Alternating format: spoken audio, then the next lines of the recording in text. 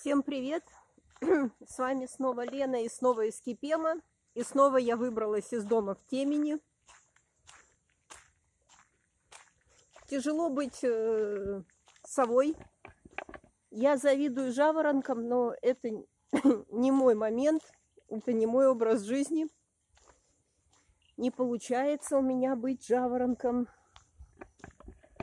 Не... А, без маски. А куда я пошла без маски? Да ладно, Ночь, полиция до шести работает, они уже ушли с работы. Никто меня сейчас за маску не оштрафует, и все равно в моей деревне никого нет. Или не идти. Или не идти. Да нет, ну до чая-то я дойду. А, почему решила выйти в эфир? У меня сейчас получилась смешная ситуация – я обратила внимание, что несмотря на то, что у меня не хватает почти 200 подписчиков, чуть меньше на канале, YouTube начал встраивать рекламу в мои видео. Я на YouTube такая обиженная, типа, ребята, ну вы бы мне тогда хоть трансляцию, что ли, открыли. Ладно, с монетизацией я не знаю, я не буду знать, что делать по причине того, что ну, у меня тупо счетов, карточек никаких нет – но будем с дочкой разговаривать. Пусть что-нибудь делает. Проблема в том, что а, дочка у меня несовершеннолетняя. Good evening. А с мамой у нас, как вы помните, случилось недопонимание, когда мы ругались по поводу денег. Когда я говорила, что я вот прямо сейчас приеду, мне надо делать зубы, мне надо то, мне надо все, а ты все деньги разбазарила. Ну, понятно, что она не разбазарила, понятно, что она купила, ну, предположительно мне, но на самом деле сейчас Ленки э, диванчик, э, шкаф, э, кухонный гарнитур и поставила окна и остеклила балкон. Ну, это, в общем, все ежу понятно. Ну, какая темень. На самом деле, вот э, здесь у вас выглядит темнее, чем есть на самом деле.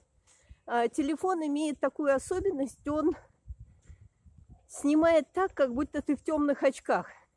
То есть вот если бы я надела темные очки, хотя, хотя, хотя, хотя, знаете, а, у меня астигматизм, у меня расширенные зрачки, из-за которых меня в детстве Ленка иногда жалуется. Могут принять за наркомана, типа, у тебя зрачки расширены. Ничего подобного. Это из-за астигматизма. То есть это врожденное. У меня и у дочки у нас зрачки расширены. Поэтому в темноте у меня кошачье зрение. То есть я вижу полутона. То есть там, где люди с обычным зрением или с куриной слепотой не видят ничего, я вижу силуэты. И э, в детстве я, как и моя дочка, боялась темноты, поэтому я тренировалась. То есть я просто выходила в темноту и шла из точки А в точку Б, чтобы побороть страх, потому что со страхами, с фобиями борьба только одна, способ преодоления. Никакие другие способы ни с депрессией, ни с фобиями не помогают.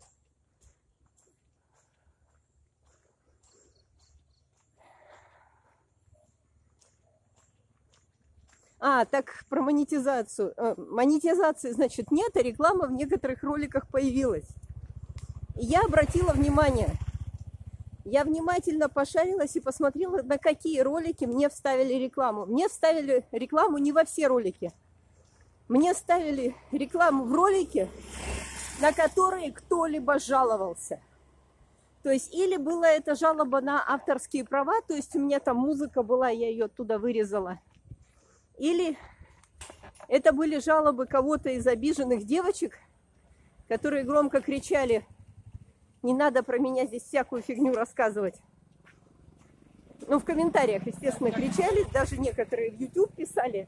Ну, так вот, YouTube рассмотрел ваши жалобы, сообщаю всем, кто на меня жаловался. YouTube рассмотрел ваши жалобы, и во все ролики, на которые вы жаловались, они поставили рекламу.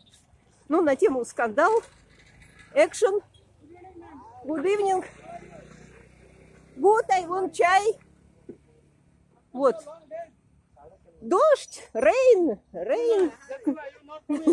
I'm not coming because rain. Uh. Yes, I sit. Yes, I have. I have. В общем, сообщаю всем жалобщикам. Все видео, на которые вы жалуетесь, YouTube монетизирует для себя. То есть я поняла алгоритм YouTube. То есть они считают, что если а, YouTube, э, если ролик вызывает отклик, если там начинают кто-то смотрит, кто-то недоволен, кто-то там подписываются, отписываются, накри- начинаются крики, вопли, Ютубу это все очень как нравится. То есть YouTube скандалист побольше моего. Э, yes, чай, please. Вот, сейчас здесь выпью чашечку чая, потом пойду куплю круассанчик. Ну вот вы видите, сколько времени я шла от своего дома до сюда. Причем я шла медленно, в темноте, то есть я шла не спеша, не торопясь. Так, 6 минут. Еще 4 минуты. Еще 4 минуты. А, опять, же, к алгоритмам YouTube, YouTube не, любит короткие ролики. YouTube любит, чтобы в ролике было а, чуть больше 10 минут. То есть 10 с половиной минут, 11 минут. Yes ma'am Thank you very much.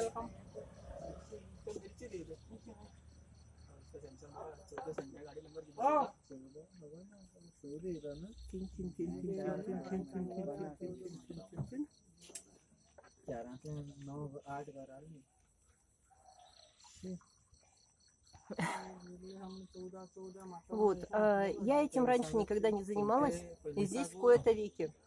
А, Если вы смотрите мой канал и не подписаны, подпишитесь, пожалуйста. Мне, блин, мне не хватает э, чуть меньше 200 человек.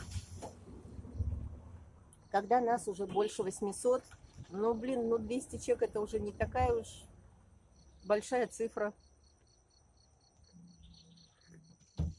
По- по- Подпишите маму, папу, брата, сестру. Все, у кого есть YouTube канал. Ну, 200 человек это реально нема- немного. Вот я бы сейчас могла с вами болтать в прямом эфире и отвечать на ваши вопросы. А вместо этого я болтаю в записи. А мне, допустим, доступен, там можно настроить какой-то прямой эфир, но он делается только с компьютера. А доступ к прямому эфиру с телефона идет после тысячи. А, часов у меня дофига и больше. Дело в том, что YouTube смотрит э, количество часов просмотров. На YouTube за там последние 3, 4, 5 месяцев. Так вот, у меня там сотни просмотров. То есть у меня там 800, 900 просмотров. У меня не какие-то там 4000 жалкие, которые им нужны. То есть по часам мой канал давно уже перешел в раздел э, монетизируемых. Если смотреть по количеству просмотров, а у меня не все чистые, то есть как бы вот у меня же все просмотры, они же чистые. Ну, в смысле без обращения к оплачиваемым аккаунтам. То есть меня реально смотрят живые люди. То есть это, это, это не боты, это живые люди, это вы. YouTube на самом деле он же мечтает показывать вам рекламу. Он просто спит и видит показывать вам рекламу. Но он сам ввел правила, и он теперь ждет, пока я заведу тысячу, чтобы монетизировать весь канал. Но видео, на которые пожаловались, он решил, что ждать он уже не может. И раз жалуются, что надо монетизировать прямо сейчас.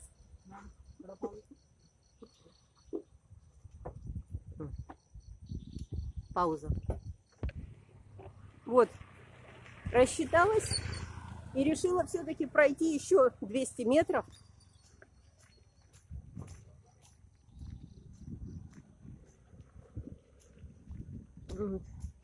Ну, про кошачье зрение.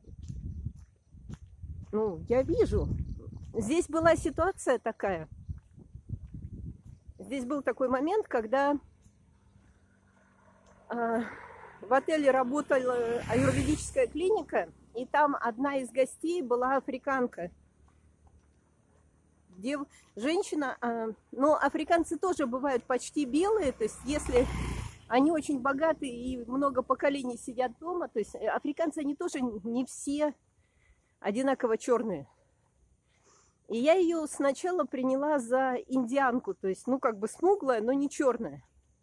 А потом плавно в разговоре все-таки выяснилось, что она из Африки. И вот она с ужасом смотрела на момент в темноте оказаться за пределами дома и не в такси. Мы с ней шли как-то из магазина и зашли в темпл. Там была какая-то служба, музыка, все пели, дзынькали. Это был 17-й год.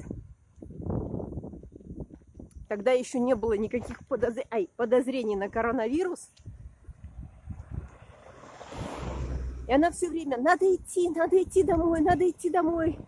А одна она боялась идти.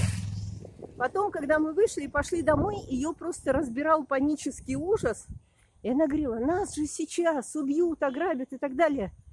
Я все не могла понять, в чем дело. То есть я говорю, блин, но мы же не, не в это самое, не в Мумбаи находимся, не в Дели в каких-то трущобах. Что ж ты так боишься? А потом я поняла, когда она мне объяснила, что она не просто, что она не индианка, что она из Африки. Hi, it's me. Так. Так, вот они мои круассаны. Вот они мои круассаны. Так, возьму всего 4 штучки. Возьму всего 4 штучки. Uh, not more, only four. And uh, five milk powder. Milk powder, yes, five.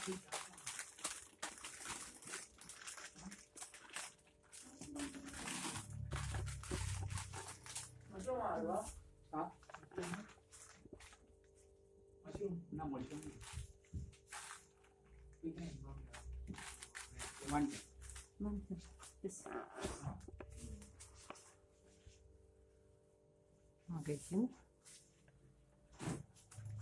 Такие лекарь в магазине. Ага, ага. Так, сейчас еще вот эту вот штучку возьму.